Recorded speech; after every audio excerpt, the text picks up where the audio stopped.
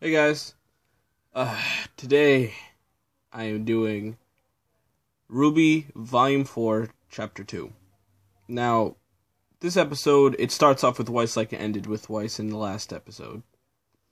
And we meet her brother Whitley, which he, his character kind of confuses me.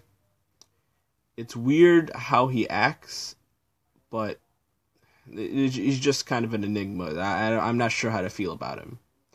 Now, with, um, oh yeah, pan, and it pans up to a picture of their whole family, and we see, we see the family photo, and it doesn't seem like the women in the family are very happy where they are. but then we cut back to um, Ruby and everybody else, and Ruby's hearing things in her sleep, which is strange. Like uh, she was hearing Pyrrha in the time where she died. They um they they of course they get up from that and they start walking and they come across a town that has been destroyed. Everything is gone. It seems like and um we see a huntsman that said bandits raided everything and then after of course the bandits came, the Grimm came after them. and this is actually the first time we actually see, well, blood and death in the show. Because I'm, I'm sure we've seen a little bit of it before, but you can definitely see it on the huntsman that died. And Ren seems to be taking this very well, like he's taking it harder than everybody else. And um, we see when Ren walks over and Ren and Nora see a symbol, they recognize that symbol. Now, we don't exactly know what it is yet, but I'm guessing either it's a symbol of a bandit or it kind of looks like a hoof print of a Grimm, or no, we're not sure right now. Then we cut back to Weiss and um, with uh, Jacques, her father, and Ironwood talking. They're arguing about what to do with the kingdom because right now Ironwood has stopped.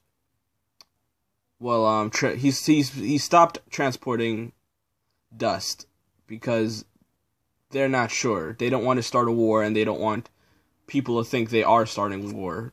It's just a precaution. Now, what Ironwood is doing right now, I think, is a very smart move. Where he's like, okay, we need to keep all the dust for ourselves right now, and we and we can't let anybody else get it, because if they supply, because they don't want to supply their maybe enemies with any dust and uh, I, he leaves and he and he tells Weiss, "Oh, there's always a place for you at the school," which is good.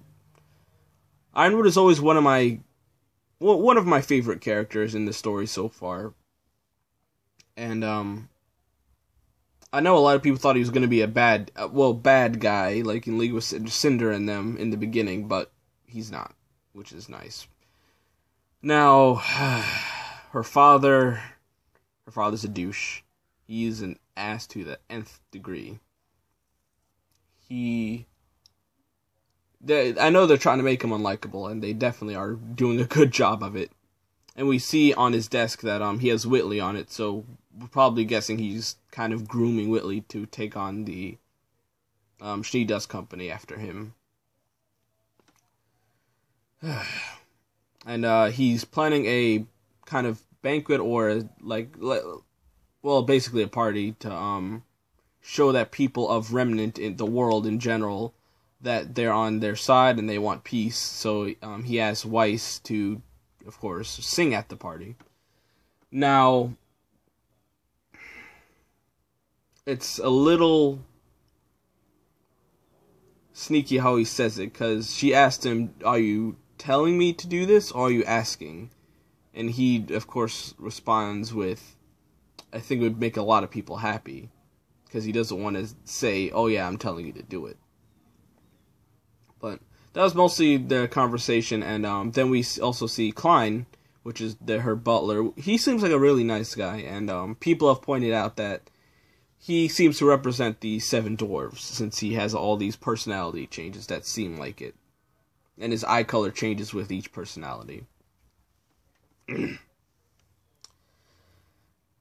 now Ruby starts hearing voices in her head again, and she wakes up during the night, and we find um, we find Jaune practicing to Pyrrha's video, I like probably a training video that she left for him.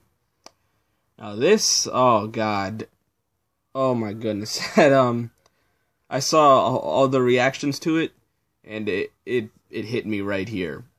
Um, that, mm, I didn't think we would get anything like that yet, but it, it was. I thought it was a very nice scene, and um, is good. I would say good character development for Jaune, and we can see that it's still hurting him after all these months. now, I don't know what's happening with Ruby's dreams, but uh, some people are saying somehow Pyrrha's alive, which I wouldn't like if she's alive. If she's alive, I would. I think it'd be a bad move on their part. And um, it would kind of cut down her death. But um, I think that's about it. If you guys have any questions, uh, make sure to put them in the comments down below, or just want to talk about something in this episode. Um, yeah, that's about it. Remember to like, and if you're new here, maybe subscribe. Maybe. Mm. All right. Bye, guys.